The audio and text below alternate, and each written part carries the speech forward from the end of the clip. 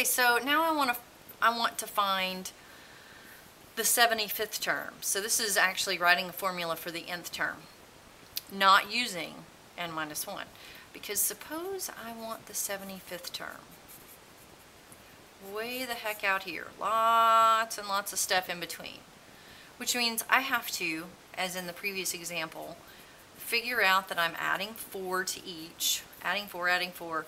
I have to add 4. Oh my gosh. I have to add 4 a gazillion more times to get there.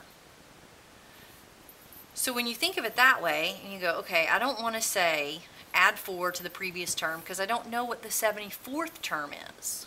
If somebody would just give me the 74th term, this would be very easy. I would just add 4 and we'd be on our way. So I need to do something else instead.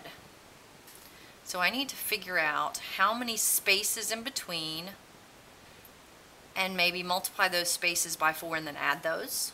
That's a possibility. I can do something, well, this is from the 6th to the 75th. What if I started with the 1st and went to the 75th? So how could I say, okay, start at 7, which is the first term, and then I need to add 4 but I need to add 4 how many times? Well, I need to add it not 75 times because I really, uh, if I count from here, it's actually going to be 74 times, right? Because if I, suppose I wanted to do just this piece, I start with 7, and to get to term 3, I would say add 4 twice. So doing, doing just this piece, where are my highlighters? Doing just this piece here. I do 7 plus 4 times 2. Right, so these two 4s, this is 4 times 2, and this gives me the third term. So what is this 2? This 2 can is the same as 3 minus 1. This 3 is the same as this 3. So if we looked at it from the point of view of using maybe these five terms, we could say the sixth term is the first term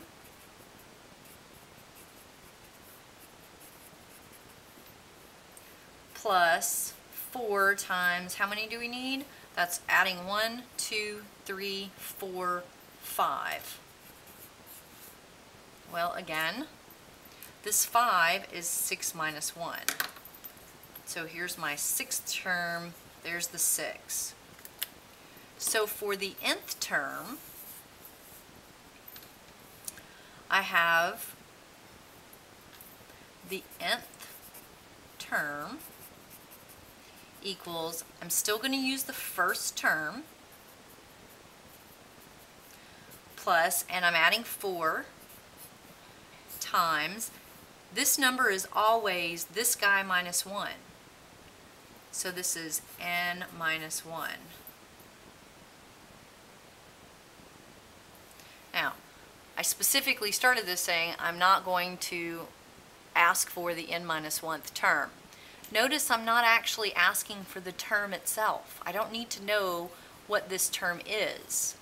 I'm actually using the number 74 when I do this. So the 75th term is 7 plus 4 times 74. So I don't need the term. This, this number is not going to be 74.